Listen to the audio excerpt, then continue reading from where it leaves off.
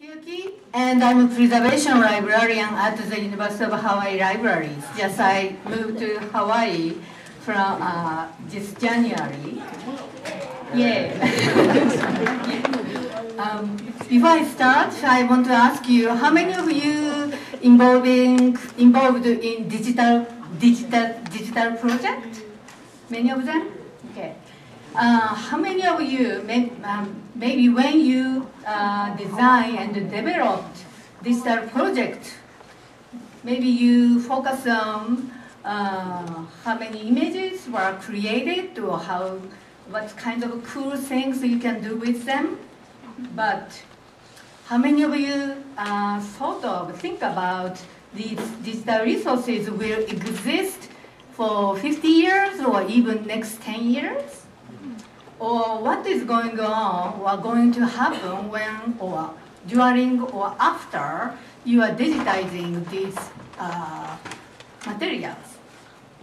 So I was wondering when I was uh, listening to Professor Watanabe's uh, presentation, you know, after his retirement, what's going to happen to his cool materials?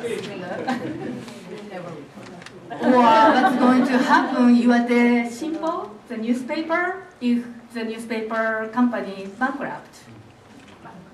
So this session, this session is intended to um, uh, propose or give you the kind of preservation perspective and other complicated issues involved in digital scholarship. So first two presenters, Setsuko Noguchi and Haruko Nakamura will share their experiences and thoughts as digital project managers and collections custodian by using examples of digitizing rare Japanese materials purchased through NCC's multi-volume set, grant, and other resources. Then, third presenter, Steve Marks, will talk principles and ideas that backs the practices to help you to navigate the digital preservation issues. Just brief introduction to the three uh, presenters. Uh, Setsuko Noguchi is a Japanese studies librarian at Princeton University and the current chair of NCC.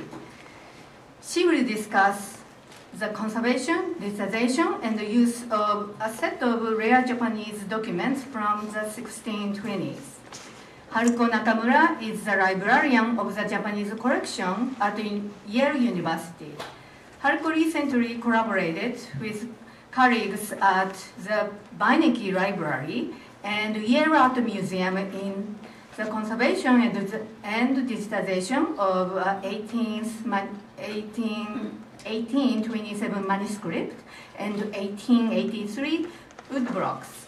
And she will discuss dissertation project of these materials. Steve Marks is a digital preservation librarian at the University of Toronto, where he is responsible for planning, policy, and workflows to ensure the longevity of the university's digital asset. So first, Setsuko-san, please.